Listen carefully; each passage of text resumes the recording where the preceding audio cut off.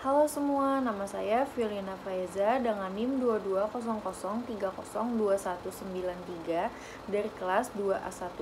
Di sini saya akan mempresentasikan buku kerja ke-6 yaitu Membangun Usaha yang Efektif. Junior Business Facilitator Kewirausahaan 1 tahun 2022. Bisnis yang saya buat yaitu ayam geprek delicious. Ayam geprek terbuat dari ayam goreng tepung yang dihancurkan dengan cara digeprek dengan ulekan, kemudian di atasnya diberi topping berupa sambal bawang. Rencana bisnis atau bisnis plan, produk jasa konsultasi ayam geprek delicious. Penyusun rencana bisnis, Violina Faiza. Yang pertama, deskripsi usaha. Diidentifikasi berdasarkan hasil wawancara dengan klien. A. Data perusahaan Nama usaha Ayam Geprek Delicious. Tempat Jalan Kemang nomor 86 Jakarta Selatan. Basis usaha Usaha berkembang atau menengah. Bentuk usaha makanan dan minuman. B. Data pengusaha. Nama Violina Faiza Tempat tanggal lahir Jakarta 11 Februari 2022 Pendidikan sedang menempuh S1 Program Studi Manajemen Perhotelan. Kualifikasi profesi perhotelan. C. Struktur organisasi. Pimpinan perusahaan Violina Feza, pemilik sekaligus pemimpin perusahaan atau usaha, memberikan arahan ke organisasi atau karyawan, pembuat aturan kerja dan SOP kerja, pengambil keputusan tertinggi, menentukan pencapaian visi dan misi. B. Bagian operasi produksi mengolah bahan mentah menjadi bahan jadi, mempersiapkan bahan, membantu pengaturan alur produksi, pengawasan terhadap alat dan bahan produksi. C. Bagian jaminan mutu meningkatkan kualitas bahan, menambah varian rasa atau sambal, bertanggung jawab atas mutu atau kualitas produk yang dihasilkan, melakukan quality control terhadap produk yang akan dijual, mengadakan hubungan kerja, menjamin terlaksananya pengelolaan keluhan pelanggan. D. Alasan pemilihan bisnis. Tingkat keuntungan yang besar serta minat masyarakat lebih besar untuk produk ini. Produk yang ditawarkan secara online pun memiliki harga yang lebih terjangkau apabila dibandingkan dengan harga yang diperjualkan toko offline. 2. Analisa pemasaran diidentifikasi berdasarkan 5 PS. A. Produk Produk yang kami produksi adalah ayam geprek delicious. Produk diproduksi dan dipasarkan dalam bentuk satuan dan paketan. B. Lokasi atau distribusi. Lokasi usaha berada di Jalan Kemang nomor 86 Jakarta Selatan. Pelanggan dapat membeli, secara langsung offline store atau melalui aplikasi melalui GoFood, GrabFood, dan ShopeeFood. C. Harga. Harga satuan 9.000 sampai dengan 12.000. Harga paketan 20.000 sampai 35.000. Harga disesuaikan dengan segmen target pasar yaitu kalangan menengah hingga ke atas. D. Promosi Pembelian satu paket nasi plus ayam geprek atau mie goreng plus ayam geprek gratis es teh manis dan gratis tambah nasi jika pelanggan makan di tempat. 3. Analisis operasional Diidentifikasi berdasarkan produk dan produksi A. Desain produk 1. Nama produk atau jasa ayam geprek delicious 2. Karakteristik produk atau jasa Ayam geprek delicious adalah sebuah makanan cepat saji yaitu ayam go ayam goreng tepung yang dihancurkan dengan cara digeprek dengan ulekan kemudian di atasnya diberi topping berupa sambal bawang 3. Manfaat produk Daging ayam memiliki kandungan mineral seperti fosfor dan kalsium. Kalori yang terkandung di dalam daging ayam dapat diubah menjadi energi yang membuat tubuh memiliki tenaga cukup untuk menjalani aktivitas. B. Proses produksi Bahan-bahan 1 ekor daging ayam, tepung ayam goreng, telur, garam, minyak goreng, dan lemon. Bahan sambal ayam geprek yaitu cabai merah, cabai rawit, bawang merah, tomat, dan bawang putih. Langkah pertama, bersihkan ayam dan cuci hingga bersih, kemudian potong ayam menjadi beberapa bagian. Setelah itu, ayam dibalurkan lemon dan garam untuk mengurangi rasa amis dan menambah cita rasa.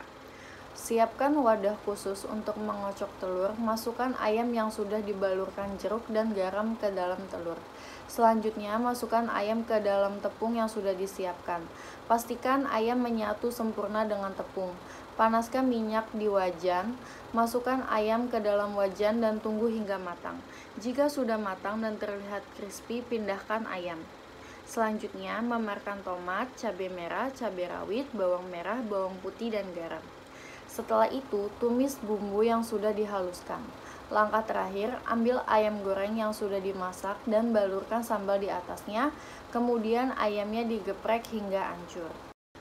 Berikut ini merupakan bahan-bahan utama yang harus ada pada saat pembuatan ayam geprek, yaitu ayam, tepung terigu, telur, cabai, penyedap rasa, dan minyak wijen.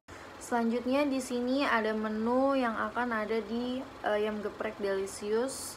Untuk makanannya ada ayam geprek ori, ayam geprek keju, ayam geprek telur asin, ayam geprek moza, Lalu ada menu paketan, paket nasi ayam geprek, paket nasi hijau ayam geprek, dan paket mie goreng ayam geprek. Untuk minumannya ada es teh manis, lemon tea, dan orange juice.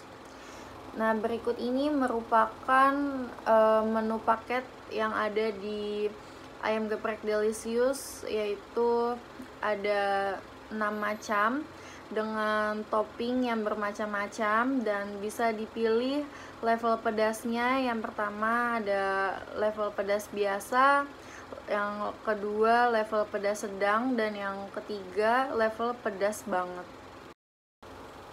4. Analisis peluang pasar dan pesaing dilakukan berdasarkan peluang dan tingkat persaingan. A. Analisis peluang pasar Peluang pasar untuk produk ini sangatlah besar karena bahan yang dibutuhkan dapat dicari dengan mudah dan harga terjangkau. Metode pemasaran kami dengan menggunakan sosial media serta endorsement influencer. Sasaran pemasaran kami kalangan menengah hingga ke atas. B. Tingkat persaingan. Tingkat persaingan rendah dikarenakan di lingkungan tempat usaha kami hanya stor kami yang menjual ayam geprek. 5. Analisis keuangan. A. Analisa biaya usaha.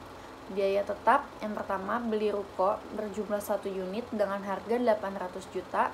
Jumlah harga 800 juta, masa pakai 5 tahun, penyusutan dalam tahun 160 juta, penyusutan dalam bulan 13 juta 333.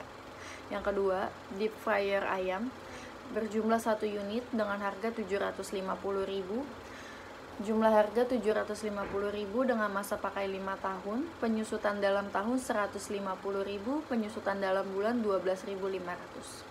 Selanjutnya meja dengan jumlah 9 unit dengan harga 65.000, jumlah harga 585.000 dengan masa pakai 2 tahun. Penyusutan dalam tahun sebesar 292.500, penyusutan dalam bulan 24.375. Selanjutnya kursi dengan jumlah 36 unit dengan harga 25.000, jumlah harga sebesar 900.000 dengan masa pakai 2 tahun, penyusutan dalam tahun sebesar 450.000, penyusutan dalam bulan sebesar 37.500. Selanjutnya piring dengan jumlah 100 unit dengan harga 10.000, jumlah harga 1 juta, Masa pakai 5 tahun, penyusutan dalam tahun sebesar 200.000, penyusutan dalam bulan sebesar 16.666. Selanjutnya gelas dengan jumlah 50 unit dengan harga 5.000, jumlah harga 250.000 dengan masa pakai 5 tahun, penyusutan dalam tahun sebesar 50.000 dan penyusutan dalam bulan sebesar 4.166 dengan total 13.428.000. Selanjutnya biaya variabel yang pertama eh, bahan baku atau pokok yaitu ayam dengan jumlah unit sebesar 20 dengan harga 30.000, jumlah harga 600.000. Yang kedua bahan pendukung yaitu ada cabai dan bawang dengan cabai sejumlah 10 kilo dengan harga 50.000, jumlah harga 500.000. Bawang sebanyak 5 kg dengan harga 40.000 jumlah harga 200.000 yang ketiga tenaga kerja karyawan sejumlah tiga orang dengan sejumlah 1 juta per orang jumlah harga 3 juta. Total 4 juta 300 ribu. Selanjutnya yaitu biaya variabel per bulan. Biaya lain-lain yaitu ada transportasi sebesar 200 ribu biaya untuk promosi sebesar 500.000 dan untuk pembayaran listrik sebesar 1.500. B. Penerimaan pendapatan dan rasio usaha.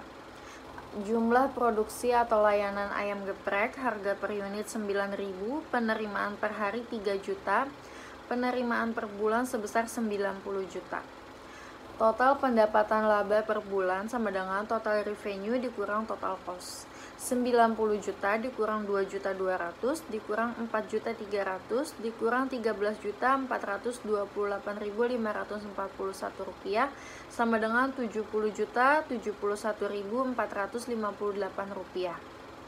Selanjutnya yang keenam analisis SWOT A. Strength Lokasi store yang dekat dengan sumber keramaian berupa pasar tradisional yang tentunya menjadi nilai plus dari usaha ayam geprek milik saya.